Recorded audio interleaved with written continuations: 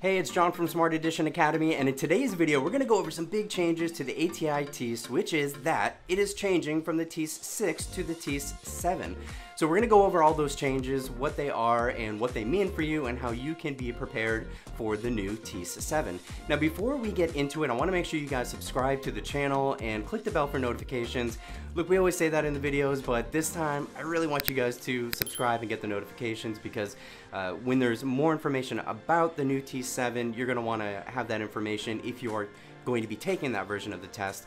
Um, so please do that. And then also check out the links below. There's links to free practice tests and our Facebook study group, uh, online courses, practice test packs, all that kind of stuff. All right, so let's go ahead and get into it. So the first thing that you need to do is don't panic. Don't panic about this. This is not a monumental change. This is still going to be the same test with the same subject areas, the same topics, the same stuff you need to study. It's just changed the structure a little bit. So we're gonna go over all that, but I don't want you guys to panic and freak out. Um, I'm gonna explain everything here that you need to know. Uh, and like I said, as we get more information, we're gonna pass that on to you guys, but really don't get too uh, worked up about this whole thing, okay? So ATI hasn't officially said exactly when the new test is going to roll out, but we are seeing it on different college and university websites uh, that are saying in October. So it's likely it's going to be sometime around that, plus or minus uh, a few weeks, and I'm sure you'll see it on your school's um, website or whatever program you're applying to. So one big question that people have is, you know, how does this affect me? If I've taken the T6 already this year, or I'm taking it this summer, but my school is changing to the T7. what do I need to do? Do I need to take the T7? And so the answer to that is that uh, it, most schools have a grace period where they accept both. So if you took the T6, say in July of 2021, and you're applying for the fall, they will take that score. Uh, if you are um, applying, you know, later for the um, spring semester and you take that test in November, obviously they're going to be able to take the TEAS 7. Um, and so this is going to uh, vary from school to school. So we have a couple examples of some schools who have already put on their websites how they're dealing with this change. So I want to lay out what those examples are. Uh, so the first example is from Palomar College in San Marcos, California. And what they're saying is we will accept both the TEAS version 6 and version 7 through our 2022 application periods. So that's not only the rest of this year, but all the way through 2022, they will be accepting your TEAS 6 scores. So the second example is Saddleback College in Mission Viejo, California. And what they're saying on their website is we will continue to take version 6 up until April 30th, 2022. So that's a much shorter time frame. That's only about six months after this new TEAS version 7 comes out. Uh, so they're not as gracious as uh, all the way up until the end of 2022. So, you know, what this really means is that different colleges are gonna have different uh, policies around how long they accept the T6 for. So you just need to check with your school or the program that you're applying to to see how long they're going to accept your T6 scores for and uh, kind of when they're going to be making their switches to the T7. Alright, so now let's get into the actual changes for the test. Like I mentioned, the subjects are all going to be the same. So it's going to be the reading, English, math, and science. And really the topics are also the same, but the ratio of how many questions you're getting for those topics is, is what seems to be changing. So you know, also on the T6, that is that test uh, is 150 scored questions, and there's 20 unscored questions, so it's a total of 170 questions. And but what I'm going to be able to cover here is the actual information that we have from ATI on what that breakdown is uh, for those topics and how many questions will be on each uh, each uh, subject section. Right, so for reading, the key takeaway is that there's going to be less key ideas and details and craft and structure, and there's going to be more integration of knowledge and ideas, but not really by much. So the way that that breaks down is on the new TEAS 7, key ideas and details is going to be 15 questions, where on the 6 it was 22 questions. So that's actually a, a good amount of change. That's about seven less questions on key ideas and details. Um, craft and structure on the new T7 is going to be 9 questions. On the uh, previous version, it was 14 questions, so less of the craft and structure. And then integration of knowledge and ideas is uh, on the new 7, uh, TEAS 7 going to be 15 questions, and 11 uh, is what was on the old version, so a little bit less there as well. Alright, so for math, the way that this breaks down is that there's going to be less numbers and algebra topics and more measurement and data questions. And uh, the question breakdown is for the T7, numbers and algebra is going to be 18 questions, whereas it used to be 23 questions. So that's quite a few less uh, questions on numbers and algebra.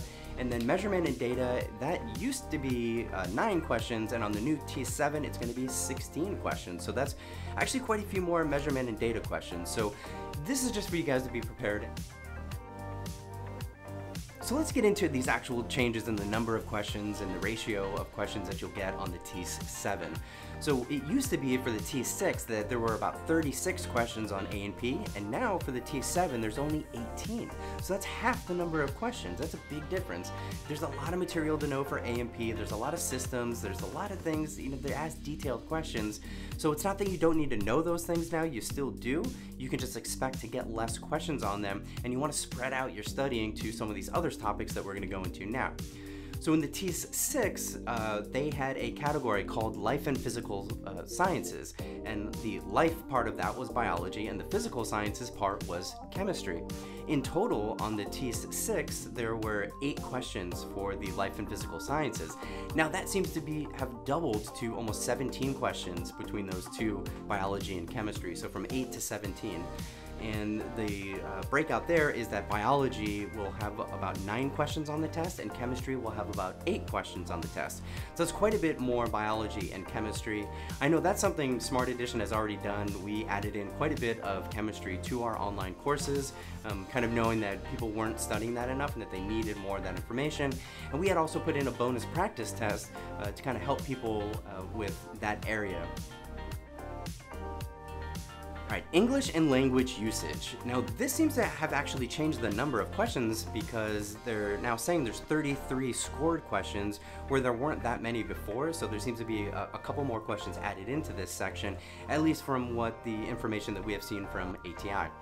So the key takeaways for this section is going to be that language and vocabulary has more questions uh, than before, but otherwise not really a big change here. So if you break down these topics by the number of questions you're going to see, uh, the conventions of standard English on the TEAS 6 had 9 questions, and on the new version it's going to have 12. It's only a couple more questions there. Um, knowledge of language had 9 questions, and now it has 11. So again, a, a small number of questions uh, increase there. A change that we are seeing is that uh, a slight renaming of the topic for vocabulary acquisition. So on the TEAS 6 it was called vocabulary acquisition and there were six topics. And now it's being called using language and vocabulary to express ideas in writing and that's got 10 questions. So that's actually a little less than doubled but quite a few more questions there. Now, uh, I should have prefaced this before, but as I'm kind of reading these topics, they're very high level, uh, and they are actually broken down into much uh, more specific topics, and that's something that we do in our practice test so that you can understand, you know, exactly which topics within um, conventions of standard English you're getting right or wrong so that you can know exactly what to study. So here at Smart Edition Academy, we are already reviewing these changes with the information that we have and kind of planning what our updates are going to be to our study guides and our online courses so that when the new version comes out this fall, we'll have uh, everything up to date, completely ready for everybody who is taking the TEAS 7. Now there'll be a new edition of the study guide coming out this fall, so we're pretty excited about that. And then all the updates to the online course, those are gonna be automatic. So if you already have the online course, you don't need to buy a new one from Smart Edition, You don't need to buy the TEAS 7 version. All the updates are gonna be rolled right into that online course and pushed live. So if you have it, you're good to go. If you're thinking about buying it, don't worry about it, you know, having to change or anything like that. All those updates are gonna be rolled out uh, as soon as the TEAS uh, version 7 is kind of announced a little closer to that date. We'll start making those changes so that you guys can be studying even before the new version comes out. In our next video, we're going to provide more updates to this new version of the T7, so make sure you subscribe, click the bell for notifications.